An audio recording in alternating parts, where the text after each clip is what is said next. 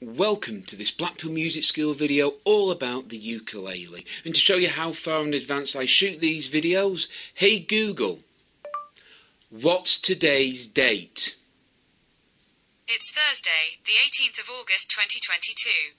So as you can see, I shoot these videos in advance. This is a combination of the three main George Formby strums, split stroke strums, solo strums that use, and this is how you can do them one after each other.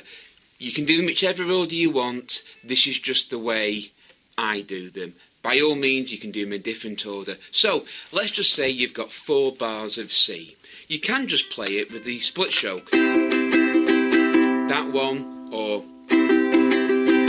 or that one or the fan stroke. And do that four times. So you can do four of this split stroke. I'll put a link to this video how to play them all. So you can do four versions of the split stroke just a C chord up here. First bar. Second bar. Third bar. Fourth bar by all means, you can use this one. First bar, second bar, third bar, fourth bar, or four fan strokes. First, second, third, fourth. And you can do fingerless, but it's not very interesting for the listener because if it's four bars, it could be eight bars, it could be ten. You need to make it more interesting. So if you are playing several bars of any chord, I'm just using a C chord for the easiest, you can do one bar of this split stroke, then this one, then the fan stroke, like this.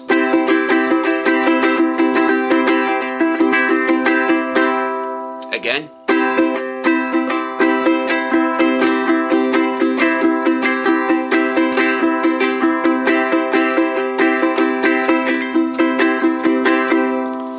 Just move from one to another.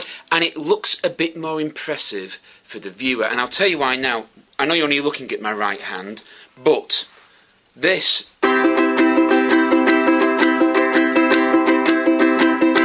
doesn't look very impressive but if you can combine them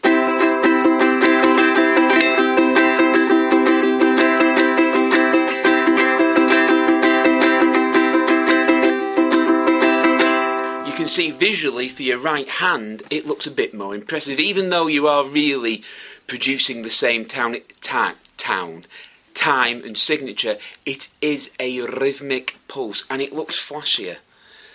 Just looks flashier, that's all. And it looks a bit more interesting and it can sound a bit more interesting.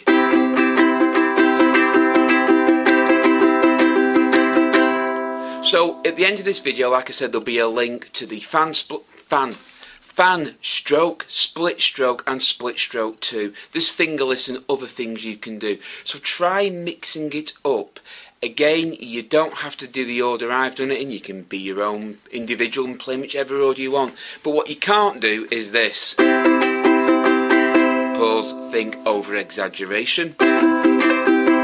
Pause, think, over exaggeration that movement, each one has eight. They're each a sequence of three followed by two, so it's eight movements per bar, shall we say. What you can't, so they've really got to flow with each other.